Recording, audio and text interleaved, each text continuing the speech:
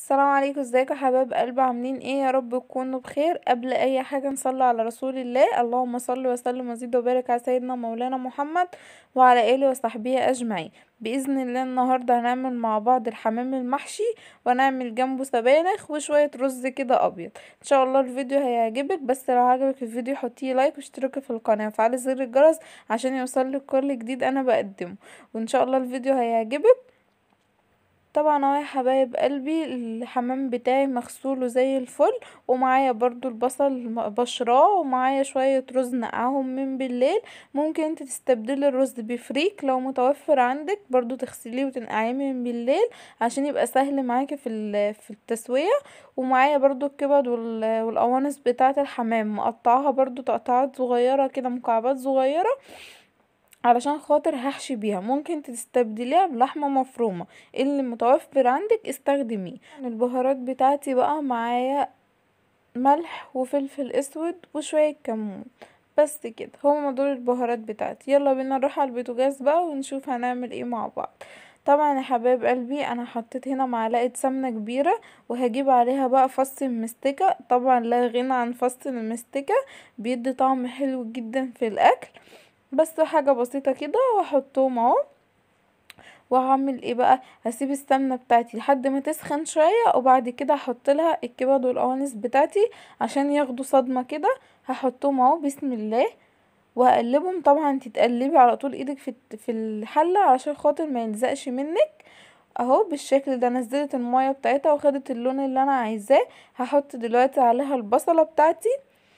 وهقلبهم برضو هاخدهم تقليبة كده مع بعض بحيث إن البصلة بتاعتي برضو تاخد معايا لون بالشكل ده أهو.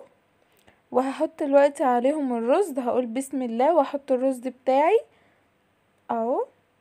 والبهارات بتاعتي كمان هحطهم عليها عشان كله ياخد ويدي كده مع بعضه. هجيب البهارات بتاعتي واحطهم برضو بسم الله. وهسيبهم بقى على النار كده ياخدوا يدوا كده مع بعض عشان خاطر أنا عايزة الرز معايا يبقى مستوي شوية. وهجيب دلوقتي برضو شوية كده من من المية صغيرين خالص وأحطهم عليه علشان خاطر يسووا معايا الرز عشان أنا عايزة الرز معايا يبقى نص سوا عشان المحشي بيه الحمام يستوي معايا بسرعة. بس هما شوية مية صغيرين خالص. بالشكل ده احطهم عليه وأقلبهم وأسيبهم مع بعض لحد ما يشرب المية. طبعا هو شرب المية أهو بقى زي الفل هشيله بقى في الطبق ده عشان هستخدم الحله عامل فيها الشوربة بتاعة الحمام هستفاد من الخلطة اللي أنا عملتها فيه دي. هشيله دلوقتي معاكم. طبعا أنا شلتهم أهو حطيت المية وحطيت فيها البصلاية حطيت فيها الرقبة بتاعة الحمام بتاعي علشان خاطر هعمل فيهم شوية الشوربة بتوع الحمام. بس كده. وهجيب بقى البهارات بتاعتي أحطها برضو عليه وأحطهم على النار يقعدوا يغلوا مع بعض كده ياخدوا ويدوا. طبعا البهارات بتاعتي ورق لوري وح... وفلفل أسود وحبهان مطحون عليه فلفل أسود. أنا بحب كده أطحن الحبهان عليه شوية كده من الفلفل الاسود بيدي طعم وبيبقى معايا حلو. هحطهم دلوقتي على على النار لحد ما يغلوا مع بعض ويلا بينا نعمل مع بعض السبانخ طبعا يا حبايب قلبي أنا هعمل معاكم دلوقتي السبانخ بتاعتي سهلة جدا وما بتاخدش حاجة وطعمها حلو. أنا معايا السبانخ بتاعتي دي متقطعة التقطيع دي مغسولة ومقطعاها ومعايا الحمص بتاعي. ده حمص أنا بروح من عند العطار كده بقول له عايزة حمص بجيبه ونقعه من بالليل علشان خاطر يبقى معايا مستوي. ومعايا الخضرة بتاعتي بتبقى كزبرة وشبت. بس كده. ومعايا في الحلة هنا بصلاية مخرطاها ومعاها معلقة سمنة وشوية الطماطم بتوعي. كنت أنا سلقة طماطم وضربتها في الخلاط معاكم. وادي البصلاية ومعلقة السمنة بتوعي هسيبهم بقى على النار لحد ما السمنة تسيح والبصلاية إيه تحمر معايا شوية. هقعد أقلب بقى في البصلاية كده لحد ما لونها يدبل. البصلاية تدبل معايا ولونها كده إيه يحمر معايا شوية. طبعا هو كده خدت اللون اللي أنا عايزاه ودبلت معايا أهي كده شكلها. هجيب بقى السبانخ بتاعتي أقول بسم الله وآخد شوية كده وأحطهم في الحلة. بسم الله. أنا هقعد أعمل كده لحد ما السبانخ بتاعتي تهبط في قلب الحلة. بالشكل ده أهو. شوية بشوية كده لحد ما تهبط معايا. بس كده. طبعا يا حبايب قلبي اهي اتهبطت بالشكل ده أهو. هجيب بقى الحمص بتاعي كده. هقول بسم الله وهحطه عليها. طبعا أنا هحط الحمص بتاعي بعد أول شوية أنا حطيتهم وهبطوا معايا علشان خاطر المية اللي هتنزل من السبانخ هي دي اللي هتسوي معايا الحمص.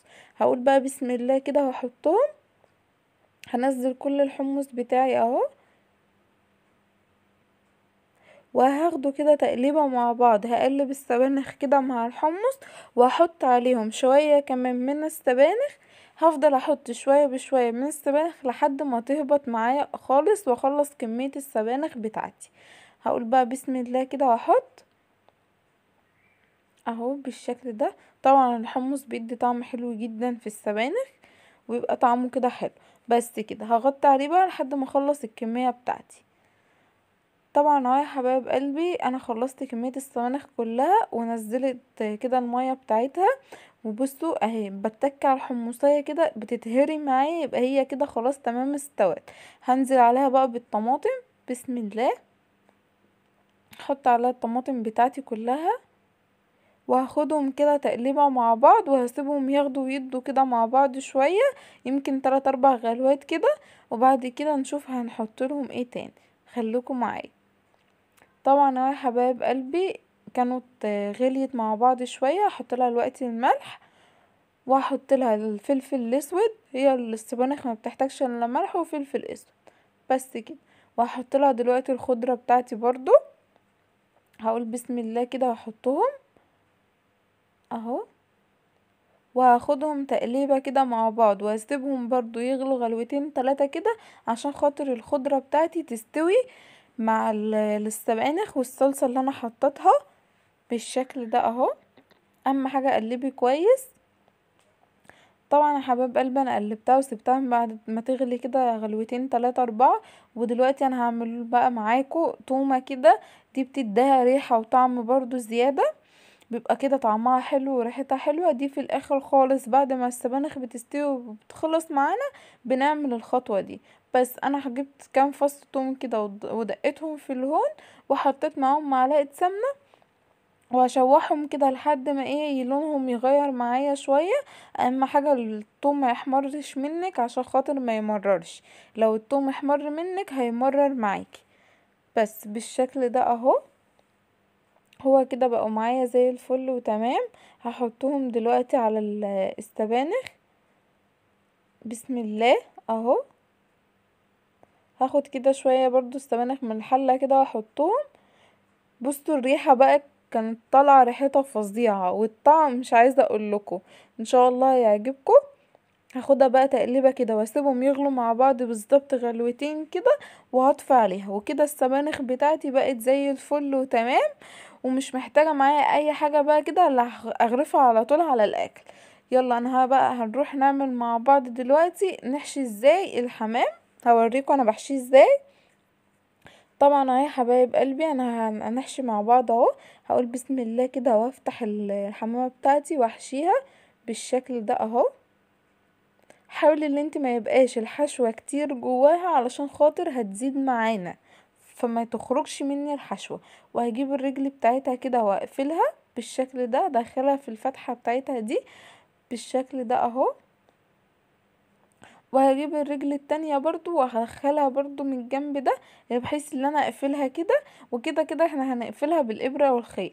هاجي برضو من عند رقبتها كده من عند الصدور وافتحها كده واخد واخد كده من الحشوة بتاعتي واحشيها بالشكل ده اهو. طبعا أنا كنت خلصتها أهي تمام؟ بقت معايا زي الفل. هسيبها بقى وأكمل بقية الحمام بتاعي. طبعا خلصت اهو بالخيط من فوق بس بقفلها من الخيط من فوق من الطرف قوي عشان خاطر أسيب لها مسافة عشان لما أحطها في المية هتزيد. وقفلتها برضو من تحت وجيت من الجنب كده غرستها بالسكينة كده شوية عشان خاطر الرز من جواها يستوي المية تدخل جوا تستوي. طبعا أهو الحمام كان استوى معايا شوفوا بسم الله ما شاء الله شكله حلو جدا. دلوقتي هنحمره مع بعض في الزيت هحمره واوريهولكم طبعا أهو يا حبايب قلبي أنا حمرته أهو بسم الله ما شاء الله والسبانخ بتاعتي أهيت والرز بتاعي. يا رب بقى يعجبكم لو عجبك الفيديو حطيه لايك واشتركي في القناة وفعلي زر الجرس. وأسيبكم في رعاية الله وحفظه والسلام عليكم ورحمة الله وبركاته.